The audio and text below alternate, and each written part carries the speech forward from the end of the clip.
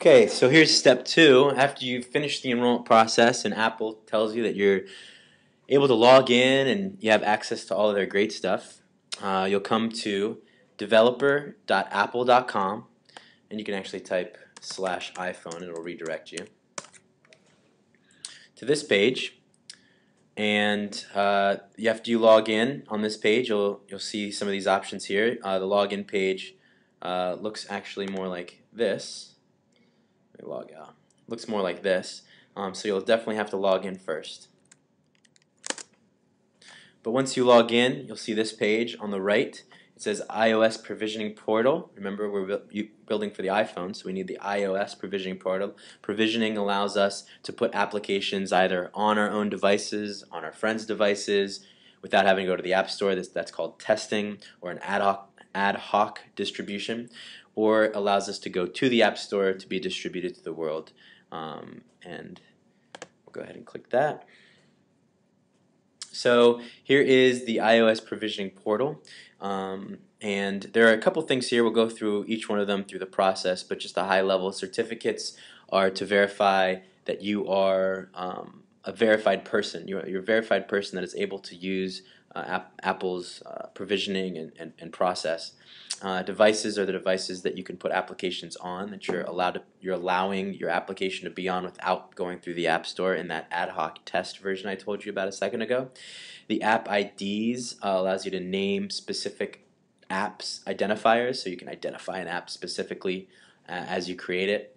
Um, and that will help you do notifications and, and all that great stuff later on. And then provisioning allows us to put the glue that kind of puts it all together that says, hey, I have a certificate, this is the app ID I want to do uh, to use, and this is the device I want to put it on, and I need to use that provisioning to put that all together. Uh, so that's like kind of a high level of it all. But this is the first page of that iOS provisioning portal that you'll have to come to in order to complete the, the process um, of, of creating a certificate and loading that into AppMakr so you can build your application. So now we're back in AppMakr and uh, press developer accounts. And last time we talked about step one getting the enrollment. And like we said we at this point you should be enrolled um, and and have the ability to log in to the I iOS provisioning portal. And so you're able to go to step two. Now there's two situations. One, either your friend or you in the past have created a P12 yourself, and now you want to upload it to AppMakr to use that uh, key. Um, so uh,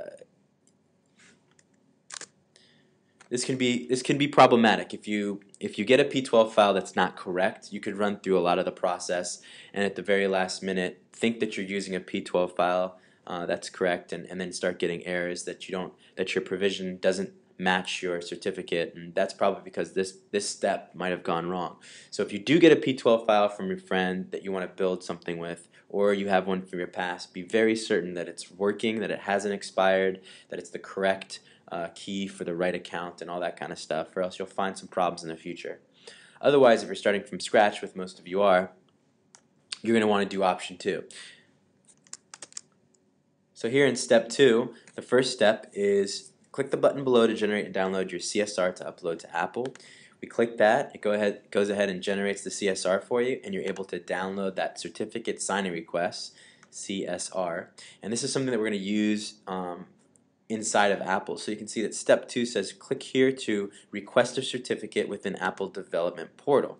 So that automatically takes you to this page, but just to be clear, that page is in certificates, distribution. It's very important we do certificate distribution. I'm going to revoke an earlier one. So if you ever had to do this process over again and start over, you simply press revoke to get back to scratch. Um, revoking a certificate doesn't ruin apps that are currently out. It doesn't ruin apps that you currently have, um, but you cannot upload again using the same certificate if it's been revoked. So remember how I told you earlier about the P12 not working or some problems coming up uh, with your account. It could be someone or yourself revoked and recreated a certificate and you're using the wrong one. So I'm just going to start over uh, so that all my future builds are um, uh, perfectly aligned with one another and everything's in the right place.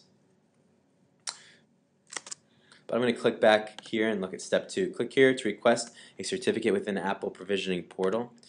So that opened that the, the, the same place. And here it, as we tell, as we explained to you, you're, you're going to want to scroll to the bottom to the request a certificate page and choose file. So you're basically going to skip this whole thing here.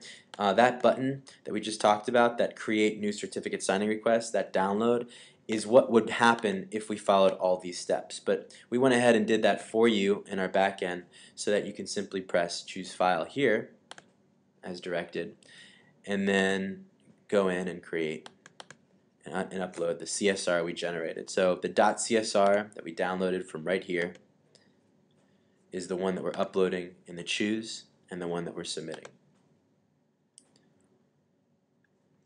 So now we've gotten that request through, it's going to be pending, and I'm going to need to refresh every so often in order for it to be issued. There you go. Actually, that went pretty fast. Sometimes it can take longer. So uh, it's been issued. I can download it, and as you can see here, after you've uploaded to Apple, um, the file you'll be uploading is one you created and download above. Step three, after you upload the file and click submit, Apple will redirect you to the current certificate page and your new certificate will be listed as pending. After a few minutes, refresh, which is what we did, to download the certificate. Once available, click download. So we're going to go over here and click download. And we get another certificate, which is the distribution identity certificate. Since I've done this a few times, it says 7 next to it because it's the seventh time I've done it. But you'll probably not have that 7 there. Once we finish this process, the next, the last step is to choose that file and upload the .cer and then press upload. The reason why this takes a, a little bit of work is because we're making sure that we have a secure uh, situation that I I am who I say I am, Apple thinks I'm say I am, and and uh, we have all the information needed to, to complete the process. Okay, so once you're done, you've successfully created your Apple certificate. You can apply it to applications you've created. Um, but since we don't have any applications right now, there's really nothing we can apply it to. More importantly, in the developer accounts, we're ready to start publishing with this certificate. Um, and it shows you when it's going to expire, and you'll have to uh, redo this in about a year. But this should be pretty solid from now on. And now you have a certificate so that you can build apps and test them on your device or upload to the App Store with Apple.